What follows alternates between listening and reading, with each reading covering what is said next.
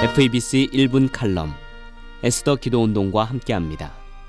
행동하는 프로라이프 남성연대는 지난 10월 23일 기자회견을 갖고 여성의 낙태 문제를 두고 홀로 고민하고 아파하며 상처받은 모든 여성들께 용서를 구한다. 사랑이라는 이름으로 더욱 아껴주지 못했던 부분, 책임을 외면했던 부분, 혼자서 문제를 해결하게끔 버려두며 함께 나아가지 못했던 부분들을 남성으로서 그리고 아빠로서 진심으로 사죄한다고 밝혔습니다.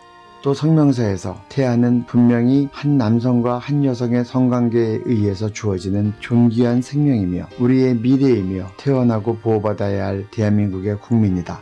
그렇게 얻게 된 아이들에 대한 사랑에는 모성애만 있는 것이 아니다. 자녀에게는 모성애와 더불어 부성애도 꼭 필요하다. 어머니들만 자녀로 인해 다시 태어나는 기분을 느끼는 게 아니며 이 세상의 많은 남성들 역시 자신을 닮은 자녀를 통해 새로운 삶이 시작됨을 느끼고 책임감을 갖춘 진정한 어른으로 거듭나는 신성한 경험을 하게 된다. 그러므로 무성애와 부성애는 세대를 이어 내려가며 지켜져야 할 인류의 소중한 본성이자 축복이다 라고 선언했습니다. 이제 낙태로부터 태아의 생명을 지키기 위해 여성만이 아니라 남성들의 책임 있는 역할이 요청됩니다. 태아가 살아야 가정이 살고 대한민국이 삽니다. 태아는 하나님께서 우리에게 주신 하나님의 형상이며 축복입니다.